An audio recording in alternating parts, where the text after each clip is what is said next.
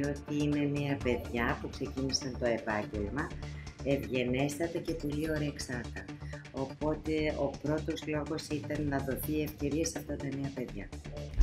Γιατί έχουν τα πιο σύγχρονα μηχανήματα καθαρισμού και γιατί μετά από τόσα χρόνια συνεργασίας μαζί τους γνωρίζω το μεράκι των ανθρώπων και τις γνώσεις που διαθέτουν για να προσφέρουν το καλύτερο. Όπως βλέπετε έχω την Μπέλα εδώ που είναι μέλος της οικογένειας και έχουμε μεγάλο θέμα με τις τρίχες. Αυτό που μου αρέσει στα παιδιά είναι ότι όποτε λερώσει ένα χαλί ένα πάπλωμα, έρχονται αμέσως και την ίδια μέρα το έχω πάλι καθαρό. Αλλά όταν άνοιξε για πρώτη φορά το χαλί, ήταν σαν καινούργιο.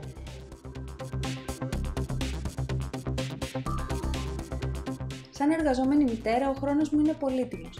Η Carpet Clean Τσακνάκι με βοηθάει να διατηρήσω το σπίτι μου καθαρό, ασφαλές, επίσης οι πολύ καλές τιμές σε συνδυασμό με την άμεση εξυπηρέτηση και την πολύ καλή υπηρεσία της δωρεάν φύλαξης με κάνει να αισθάνομαι ήρεμη και ασφαλής.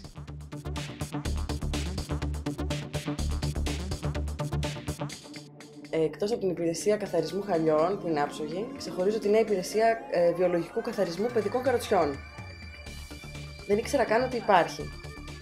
Ξεχωρίζω την ε, συνέπεια και την ε, πολύ καλή επεξεργασία και καθαριότητα των χειροποίητων χαλιών.